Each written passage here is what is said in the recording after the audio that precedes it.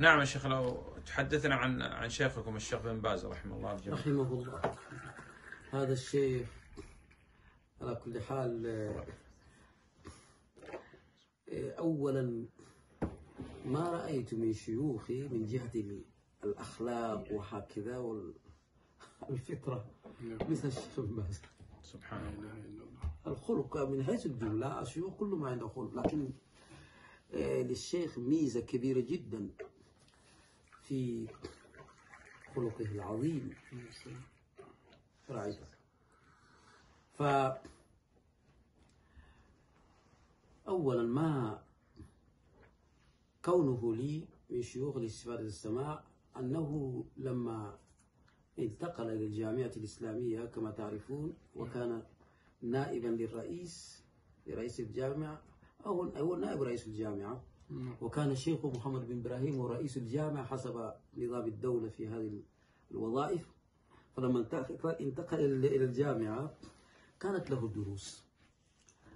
كانت له در- دروس في شرح صحيح مسلم. كان شرح بعض صحيح مسلم. فهذا الشرح كنت أجتهد حتى أحضره. أجتهد في الحضور في حضور هذه هذا الشرح.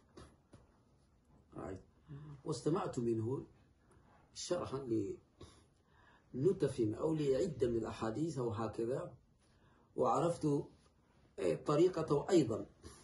لأنه قبله بعض الشيوخ من الشناقطة كمحمد المختار في المسجد النبوي وكالأمين وهكذا أحمد. لكن آه، الشيخ المخ... الشيخ عبد العزيز طريقته في شرح الحديث. إيه، وقفت على هذا على نعم. هذه الطريقة. ممكن نعرفها شيخنا؟ نعم. نعم. هو باختصار نعم.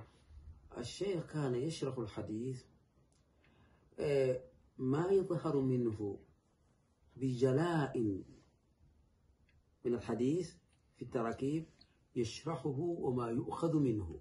السلام. وقد يكون بعض ما ظهر من النص الحديث أحيانا قد يكون هناك من يخالف من العلماء أو هناك بعض زيادات من بعض العلماء على ما في الحديث نعم. فهو لا إذا رأى أن هذا الذي يزيده بعض العلماء أو يأتي به وهو علم أيضا إنما يذكره بالنظر إلى أدلة أخرى مثلا لكن هذا الحديث ما ظهر منه للشيخ يفسره به ويشرحه به وهكذا. شرح مختصر من مختصر. عادة الشيخ الاختصار. نعم. نعم. هذه طريقته العامة نعم.